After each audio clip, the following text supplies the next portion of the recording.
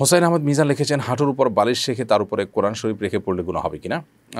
গুণ হবে না ইনশাআল্লাহ এর কারণে। নবী করিম সাল্লাহ সাল্লাম আমাদের আসলে তাহার কোলে মাথা রেখেও কোরআন করিমের তেলাওয়াত করেছেন বা তার শরীরে হেলান দিয়েও কোরআন তেলাওয়াত করেছেন।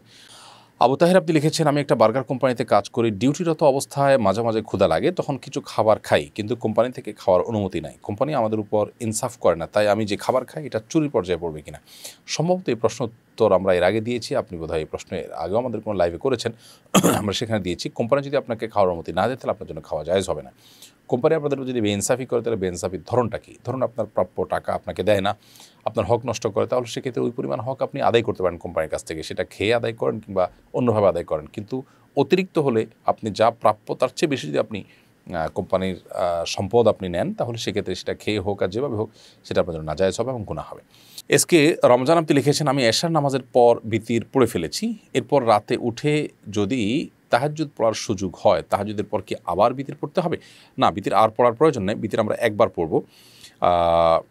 আপনার বিতির হবে রাতের শেষ সালাত। নবী করিম সাল্লাহ সাল্লাম বলেছেন এই যে আলু আখর সালাতিকুম বিল্লাইলি বিতরা। তোমরা রাতের শেষ সালাত হিসাবে বিতিরের সালাদকে রাখবা। তো এই বিতিরের সালাত হবে শেষ নামাজ। আপনার যদি তাহাজুদ পড়ার নিয়ত থাকে, তাহলে আপনি বিতিরটার অফ রাখবেন তাহাজুদ পড়ে তারপর বিতির পড়ে আপনি শুয়ে যাবেন। যদি এমন হয় যে প্রথম রাতে আপনি বিতির পড়ে ফেলেছেন তাহাজিদ পড়ার আশা ছিল না, কিন্তু আল্লাহ তালা ওঠার তফিক দিয়েছেন, পরবর্তীতে আপনি তাহাজিদ পড়তে পেরেছেন, তাহলে সেক্ষেত্রে তাহাজুদ অবশ্যই পড়বেন, কিন্তু বিতির আর আপনাকে দোহরাতে হবে না বা পুনরায় পড়তে হবে না। রায়হান আহমেদ নোভেল, আপনি লিখেছেন, ভার্সিটি অ্যাডমিশন এক্সামের জন্য ফর্ম পূরণ পূরণ করতে কান বের করে ছবি দিতে বলা হয়েছে, কিন্তু এতে আমার পর্দার বিধান লঙ্ঘন হবে, আমি কি করতে পারি? আপনি যদি এটাকে অ্যাভয়েড করার সুযোগ থাকে, অ্যাভয়েড করাটা হবে তাকুয়ার দাবি, কিন্তু যদি আপনি এমন একটা পর্যায়ে চলে যান যে আসলে আপনার জন্য এখন অ্যাভয়েড করাটা টাফ তো মাজুর হিসাবে নিরুপায় হিসাবে আপনি এটা করতে পারেন। এটার প্রতি অপছন্দ এবং এটার প্রতি অসন্তোষ আপনার অন্তরে ঠিকই থাকল।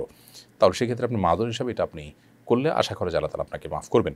বিয়ের পূর্বে দেনমোহর পরিশোধ করা যাবে কি না বিয়ের পূর্বেই তো দেনমোহর পরিশোধ করবেন, অর্থাৎ আগদ কথা পাকাপাকি হয়ে গেল, আপনি মেহর দিয়ে দিলেন। আবার আগদের পরও আপনি দিতে পারেন, কোনো অসুবিধা নেই।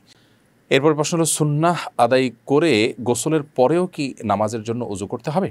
সুন্নাহ আদায় করে গোসলের পরে আলাদা করে উজু করার প্রয়োজন নেই। অর্থাৎ গোসলটা যদি সুন্নাসম্মত গোসল হয়, তারপর আর আলাদা উজু করার কোনো প্রয়োজন নেই। সুন্নাসম্মত গোসলের শুরুতে কিন্তু উজু থাকে, শেষে আবার পাও ধুয়ে চলে আসেন অর্থাৎ উজু কমপ্লিট থাকে পুরো গোসলের মধ্যে। অতএব আলাদা করে আর উজু করার কোনো প্রয়োজন নেই। হ্যাঁ গোসল করার মধ্যে আপনার যদি উজু চলে যায়, তাহলে সেক্ষেত্রে আবার নতুন করে উজু করতে হবে।